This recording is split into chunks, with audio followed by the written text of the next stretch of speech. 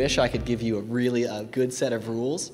From what I've found is that uh, a lot of times per machine, not even per machine, but like like per particular type of um, printing, uh, not printing. So for like like SLA, the tolerances are I think 50 microns, if not less than that, depending on how fine-tuned you've got it.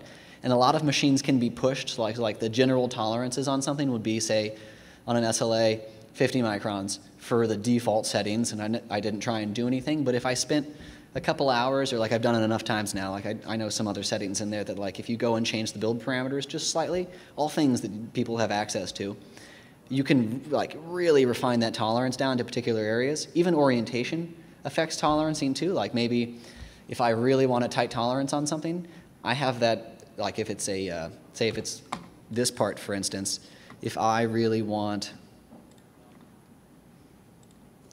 that surface to be perfectly flat, like really super perfectly flat. Maybe my print orientation is in such an orientation that that surface is a flat layer versus if I printed it at, like if we can just imagine the bottom of my screen is, is the like build plate and that's some crazy orientation, the tolerancing may not be very tight around that because it's at some, some funny angle and like I might not be super accurate, but if I was to make it so that, where is it? For instance, in some like perfectly nice orientation, I'm going to actually rotate this 90 degrees. I guess I can't even type in 90.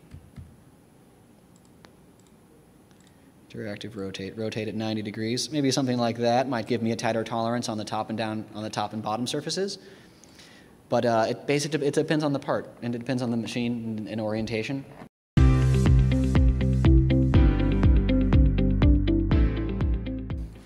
It uh, again, it depends on the machine. The best, I mean, what's the best I've ever gotten anything down to? I think the tightest tolerances I've ever got is maybe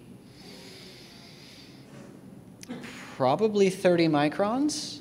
But I know most of the time, like measuring with calipers, it's perfect. And so it depends on what kind of level you're going down for. But I, I've definitely gotten stuff almost perfect, like basically the same thing as the CAD file. When you, when you like scan the object and delta map it later, it'll all show up within 30 microns. But that's with some fine tuning, I think, and it depends on the material itself as well. So like metals are, I don't, I don't have as much experience with metals, but they can be fine tuned as well. I know MJPs aren't as fine tunable as much because of, because of the overall system. I think SLA has the most process latitude in the being able to quickly change the laser power, to quickly change the infill spacing or something like that to bring your tolerances down?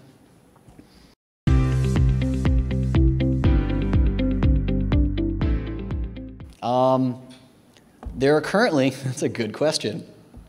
Uh, so they're currently like, we're getting better and better, and not just we as 3D systems, but like we as an industry are getting better and better at flexible polymers.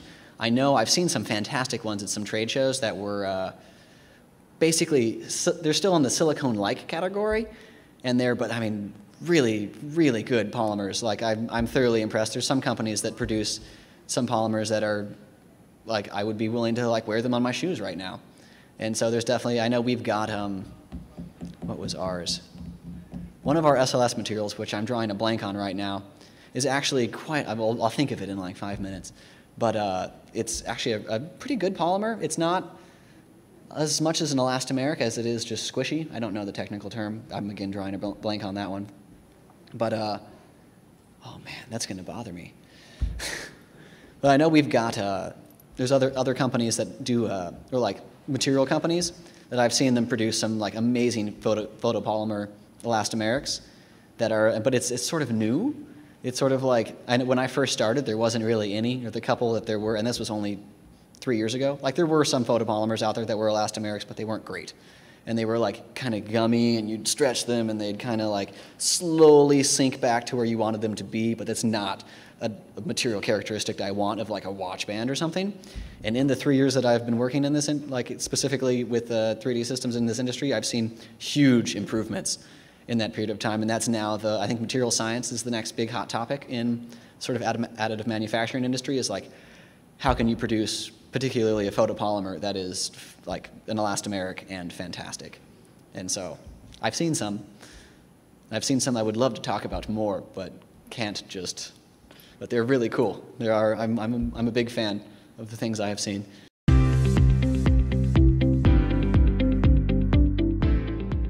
So they're coming. Oop, I'm going to knock this thing off the desk again.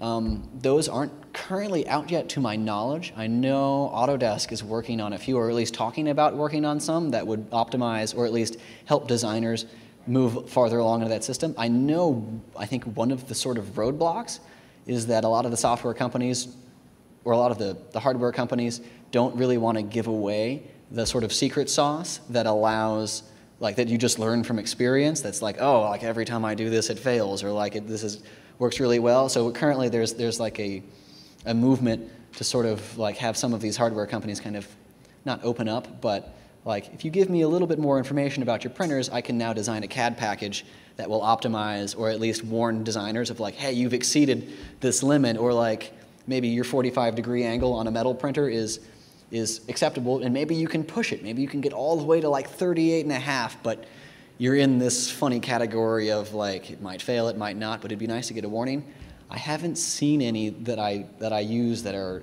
like specifically for optimizing for additive other than like the topology optimization or the generative design softwares but nothing that is like if you put this part in it'll be like this is best for mjp or this is best for sls i would love that but I don't, not that I know of.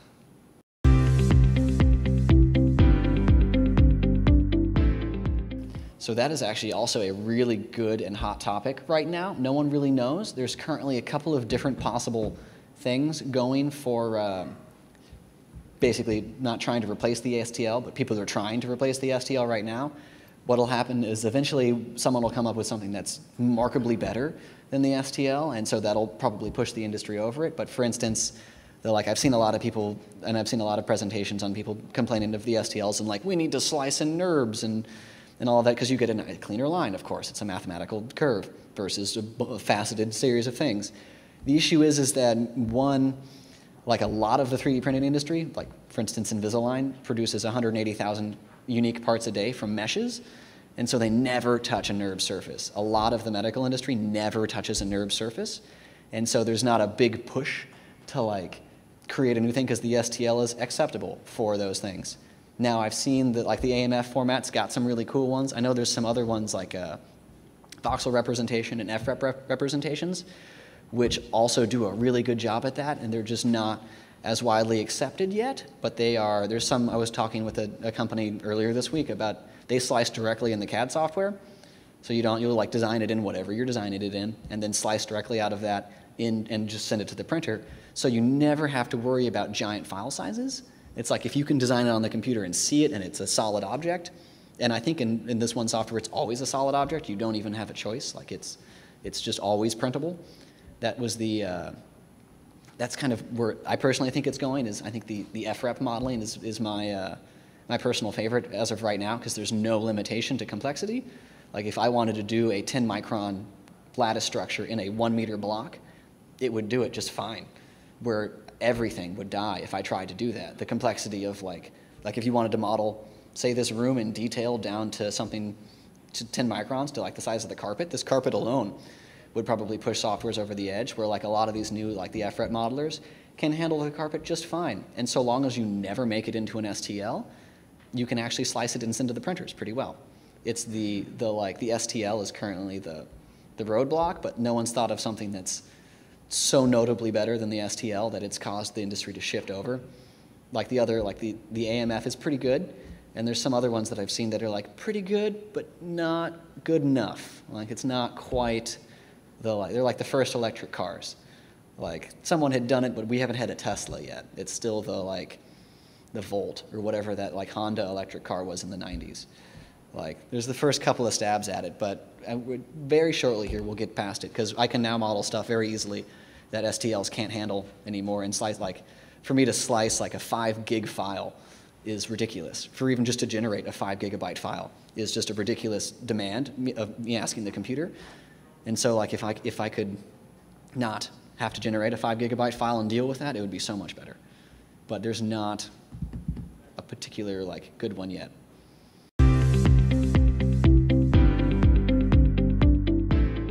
So I've seen, so I've seen a bunch of FDM printers that will like also have like a little thing that injects some solder. I think it's solder or something along those lines into the into the, the basically the printing process. I've also seen some some of my favorite ones are. Uh, basically like selectively metal plating parts to get those properties out of it. And so like say if you want like integrated like maybe it's too hard to to like actually run wires through an object, but like if I could print that crazy object and then plate it and then run power through that the plating, that's another possibility. Or maybe a lot of these uh, like recently those uh, what are they called? Conductive inks are looking really promising for doing these things. Like maybe I don't even I can maybe just print a part and just flow ink through that part. And then at the end, I just have like a, like a conductive vasculature system versus like actually trying to figure out how to like model all of that in and then have another machine come over and put a little bit of solder down every single layer, which is slowing the overall process down. Maybe it's like a secondary factor. But I've not seen a whole lot on that. I'm not, we haven't quite gotten there that, that far yet. That was like a, like daydreaming a little while ago was like, if there's conductive inks, it's ink, it's liquid, I could flow it through a part and then that same principle should apply. And so whether or not the resistance on those things is huge because I've just flooded it with whatever else the, the, the, carrier for that conductive ink is, like it, it may be totally not a great idea, but I've not seen anyone do it yet. So it's totally a possibility and worth exploring. I've not seen any of the industrial sort of printing of electronic parts. I know there is some, but I'm not as familiar with it.